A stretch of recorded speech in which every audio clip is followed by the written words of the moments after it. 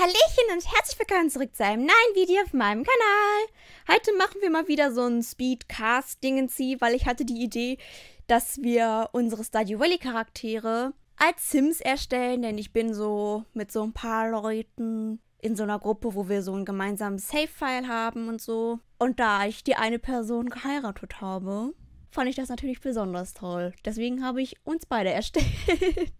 also unsere Charaktere. So, und da sind wir jetzt auch schon dabei. Ihr seht hier natürlich eingeblendet irgendwo, wie der Charakter im Spiel aussieht. Und äh, daran habe ich mich dann halt irgendwie gerichtet, habe versucht, das so zu machen, wie ich mir das ungefähr vorstelle. Ja, also es hat nicht alles immer so hundertprozentig gepasst, wie ich mir das gewünscht hätte, aber das ist natürlich klar, ne? Also es gibt ja nicht immer überall dasselbe. Obwohl ich mir bei Markus ein bisschen mehr vorstellen konnte, was ich vielleicht tun kann. Also, weil ich schon wusste, okay, er trägt dieses T-Shirt, wo man den Totenkopf sieht und ich wusste, dass wir halt sowas im Base Game haben. Das gab es jetzt bei mir nicht. Ich habe ja, wie gesagt, das sieht man dann später, ähm, so eine Maus ähm, auf dem T-Shirt. Sowas haben wir nicht im Spiel. Ähm, zumindest habe ich das nicht. Also, I don't know. Vielleicht gibt es irgendwie Custom-Content, was so ähnlich aussieht. Aber da muss ich dann ein bisschen rumprobieren. Und ja, also ich denke, den Rest werdet ihr dann halt auch noch jetzt irgendwie sehen. Also viel gesucht habe ich vor allem bei den Haaren und so. Ähm, aber ja, das ist, denke ich, klar. Man versucht ja auch das möglichst genau dann nachzustellen, wenn man es dann schon nachstellt.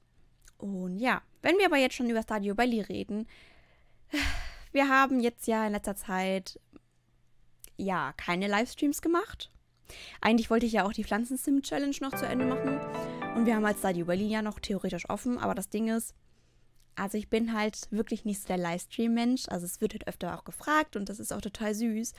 Aber ich merke halt, es ist halt nicht so mein Ding. Also ich bin nicht so der Allein-Entertainer und wenn dann halt in Videos, weil dann kann ich das halt so zusammenschneiden, dass es vielleicht noch lustig wird oder keine Ahnung, wenn ich halt irgendwas doofes mache oder sage, was mir halt vielleicht auch peinlich ist oder so, dann kann ich es einfach rausschneiden.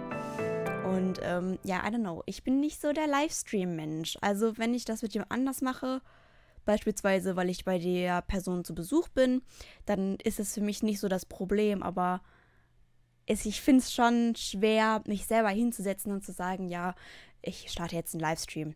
Deswegen geht jetzt erstmal nicht davon aus, dass wir die Pflanzensim-Challenge zu Ende machen. Und ähm, Stardew Valley machen wir jetzt erstmal auch nicht weiter. Wie gesagt, also an sich hat es Spaß gemacht und so und es war auch schön mit euch, aber es äh, war einfach ja, also es ist einfach nicht so mein Ding, ne? Und gerade weil ich ja auch eine generalisierte Angststörung habe, ist es halt immer noch mal ein bisschen schwieriger, sage ich mal. Also ja, es also das ist halt, es spielt mir halt auch immer da so rein, ne? Also das Ding ist halt ganz zu Anfang, also beziehungsweise seit ich diesen Kanal habe, ich hatte schon beim Aufnehmen teilweise mal eine Panikattacke oder so und das kann ich dann einfach rausschneiden, wenn ich dann hier eine halbe Stunde sitze und das kann ich jetzt im Livestream halt nicht unbedingt. Und ich werde das dann meistens auch nicht schaffen, das dann auszumachen. Und das ist halt so mein Hauptgrund, wieso ich dann alleine das, ja, dass es dann einfach ein bisschen schwierig ist. Aber ähm, ich weiß auch, dass ihr mir das nie krumm nehmt in irgendeiner Form, wenn irgendwas dann doch nicht so kommt, wie wir uns das vorgestellt haben. Aber ja, also stellt euch erstmal nicht auf Livestreams und so ein. Also das heißt nicht, dass nie wieder einer kommt. Kann auch sein, dass ich meine Meinung nochmal ändere oder so. Aber ich ähm, habe in näherer Zeit erstmal nicht vor, nochmal einen Livestream zu machen.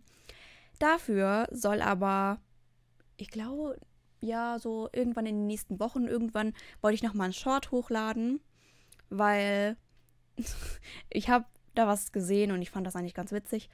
Ähm, ja, weil Shorts sind ja eigentlich auch ganz gut wegen Reichweite und so. Also sind wir ganz ehrlich hier. Aber ich weiß nicht, ich sag da jetzt nicht weiter was zu. Also, weil es geht mir ja nicht darum, dass ich hier 5 Millionen Leute entertaine, sondern dass wir einfach so eine kleine Gruppe sind, ja, wo wir uns alle wohlfühlen. Deswegen ähm, hoffe ich, dass euch dann das Short auch gefällt, wenn das dann online geht.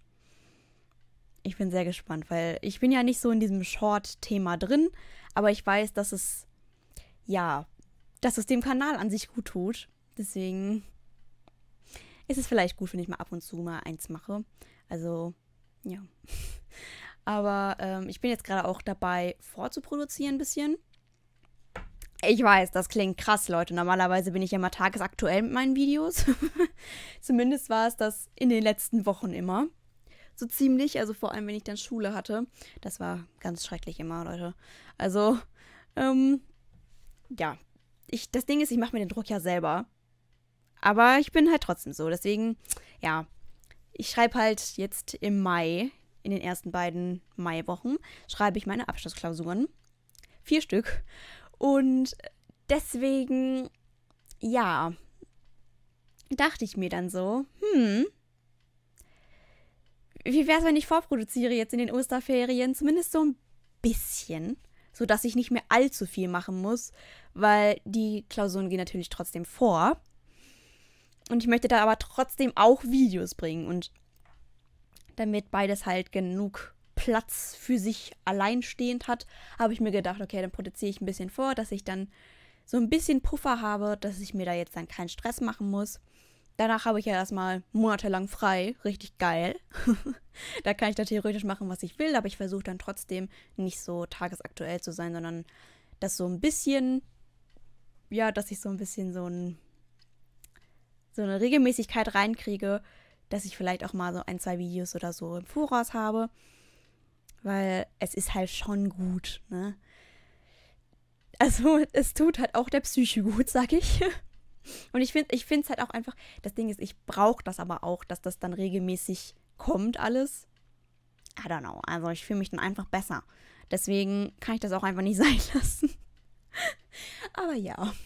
Es wird ja auch hier immer schön gewertschätzt. Ne? Also es ist ja nicht so, dass die Leute dann sagen, also ihr, also ihr sagt ja immer, ihr freut euch immer ganz doll und so. Das ist total süß. Auch wenn es vielleicht in Anführungszeichen nicht viele Leute sind, aber wenn ich nur einen Menschen hier glücklich machen kann, dann bin ich schon zufrieden. Ja. ich hoffe, seht ihr auch so. ja. Ähm, jetzt gleich sind wir tatsächlich auch schon durch. Ich habe hier ja Moschino genommen, würde ich jetzt normalerweise auf der Farm nicht anziehen. Aber das ist das Einzige, was am ehesten noch dazu gepasst hat. Deswegen, ich denke, ihr werdet verstehen, wieso ich das so gemacht habe. Aber ja, jetzt hier seht ihr nochmal einen, einen Vergleich von den beiden Bildern, I guess. Und das war es dann tatsächlich auch schon mit diesem Video. Es ist wie immer ein bisschen wild, ne? Also wenn ich so drauf losrede, passieren ganz wilde Dinge.